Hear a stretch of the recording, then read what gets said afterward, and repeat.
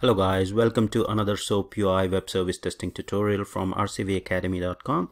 In this tutorial, we are going to continue with the um, uh, sending XML request through Groovy script. So basically in the last tutorial, we have learned how you can parse the XML and then populate the required nodes in the XML to uh, send it automatically using Groovy script and uh, verify the response coming back okay? So now this is in continuation to that. So what we have seen in the last tutorial is that we have used the xml holder class to parse the xml nodes and then populate the values uh, or the custom property values uh, a and b that we have defined at the test case level. All right? So here are the properties. So these were the property custom properties that we had defined and these were the properties property values that have been populated into this xml that we have uh, defined here the final xml so if you run this uh, you can see that the values are being populated here uh, in item uh, int a and int b. All right. So now what's the next step? So now you are able to populate the uh, the values in the node of the XML that are the required values. Now the next step is to basically send this XML and verify the response. So how are you going to send the um, the request? So for that you need a class WSDL test run context that we have import that we have to import as well. So first class was to form the XML or parse the XML XML holder class and the second class that you need to import in order to send this request is WSDL test run context the highlighted one here. Okay? So if you just say import uh, space and the, uh, provide the name of this particular class um, then that should be good enough. All right now we have generated final XML now what we need to do is we need to basically go back uh, to the request and we should be able to place this generated XML in the request uh, property here, right? The highlighted one here. So here you should be able to place this XML. Okay, so how you will be able to do it? So to do that, um, you just need to set the uh, property value. So which we have already seen in the last couple of tutorials that you just need to set the value or set property value of request to this particular final XML that we have generated. So just to do that, just say test runner dot test case. So where we are going, we are uh, basically in this Groovy script. So we'll go to the test case and then come back to this particular test step and set the property value request to this particular final XML. Okay, so we are going to the test case and then we'll come back to uh, test steps so test runner from here we went to test case. Then we came back to test steps. And we have to select the test step that we want to populate the value. So we'll say add. Now we are here in this add step.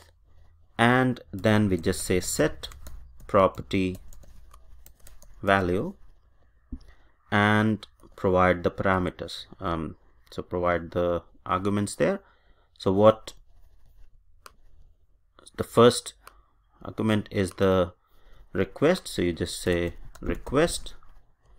And what value you want to populate the request with is the final XML okay? Now before you send this you need to set the request with this final XML that's what you need to send right? So now it has been set. So this request if you run this now that should be so the request here this soap envelope will be set to this particular final xml let's run this. And yep it has run. Let me check yep. And let's go back and see the contents of this xml so the values should be there um, the the items or the int a and int b. So you can see int b contains 234 and int a contains 123 now let me change this to some other numbers so that if I run it it should be again clear. Okay. Now let me run again. So coming back to the soap again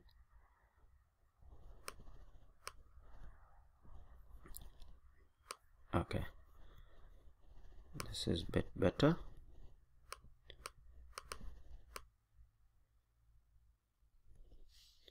So at the moment the values are still the old one. Let me run again.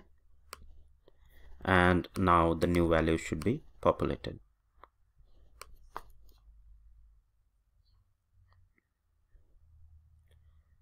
All right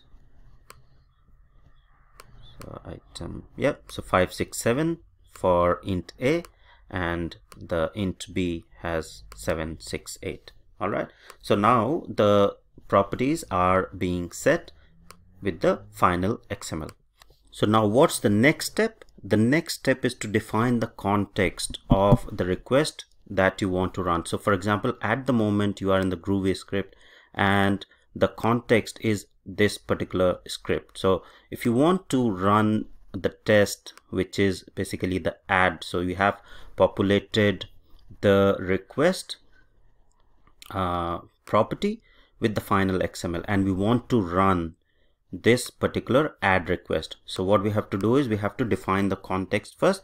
So let's define or go to this particular request. So we'll say add request test and then similar thing. So add a test runner dot test case dot test steps and just go to this add test. All right.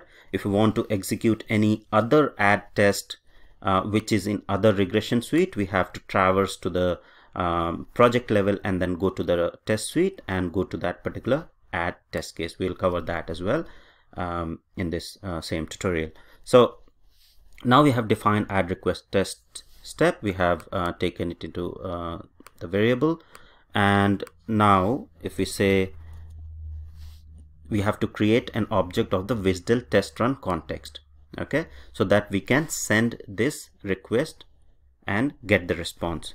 So how we can define that? We'll say context uh, give any name. So I'll say add request test and then create a new object okay? A new object of WSDL uh, test run context.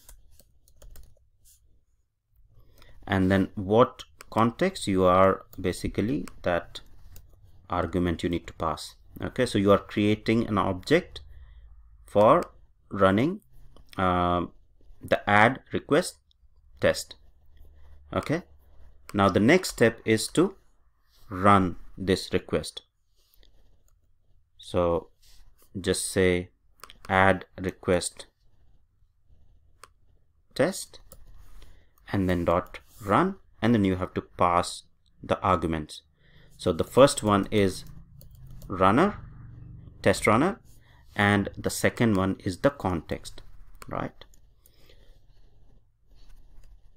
And that's it okay so here when you say run dot when you say run test runner and context. That's what the WSDL test runner uh, test run context takes or this run method takes as argument.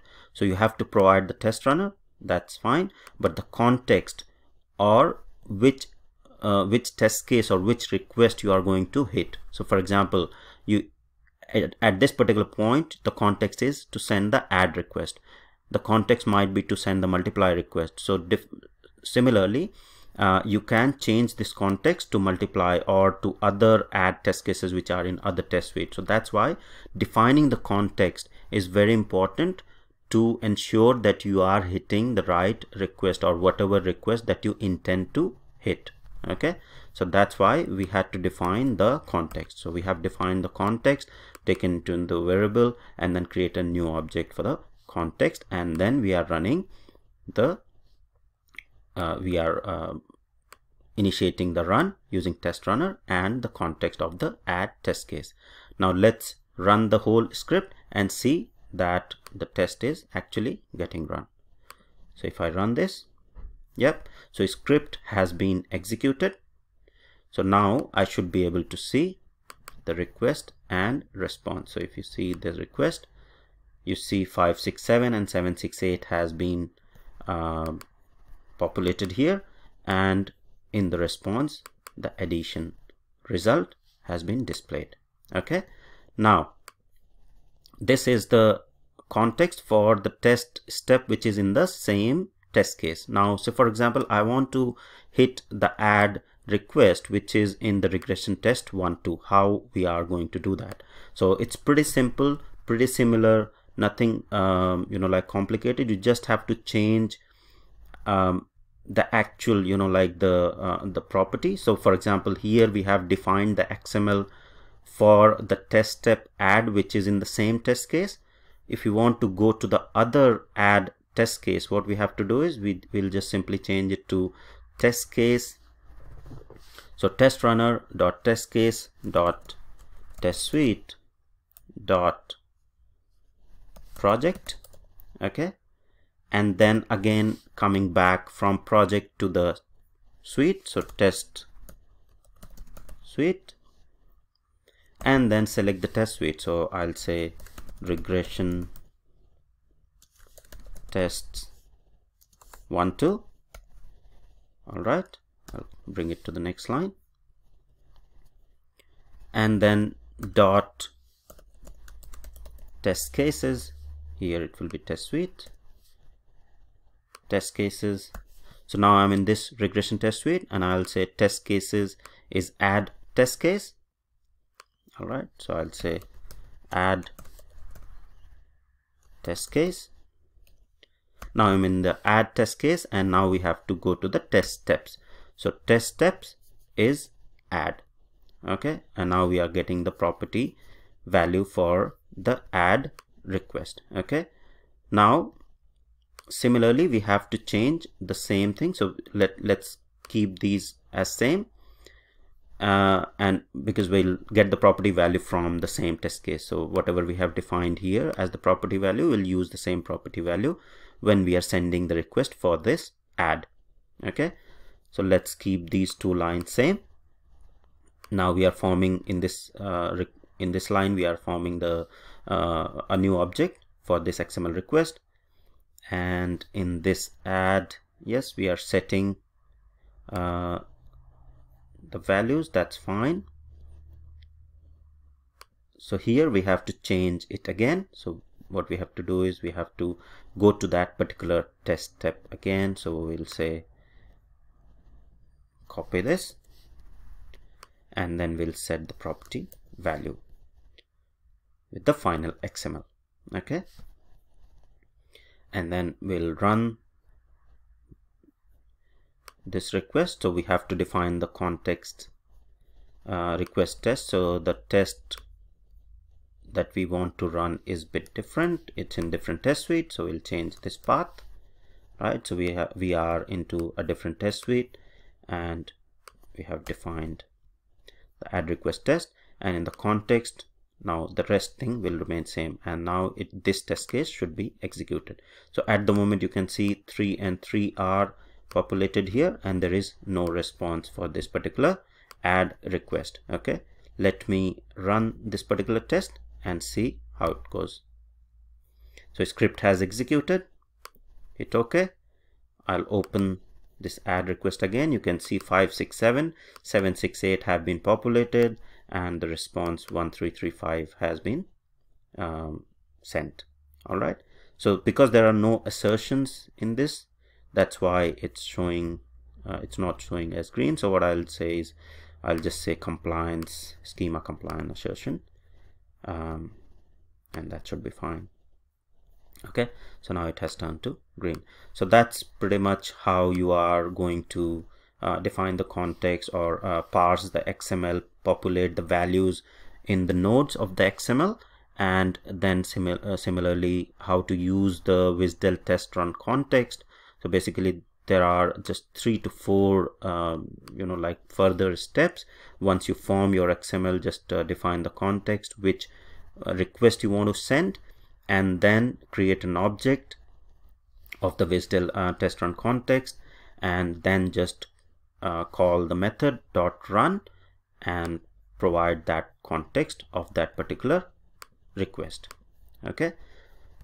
So this is basically uh, if you follow the last couple of tutorials this is basically the end-to-end -end sort of flow um, from groovy how you can define the properties then um, how you can also uh, utilize Groovy to uh, parse the XML, populate the values in the nodes and send XML and uh, get the response.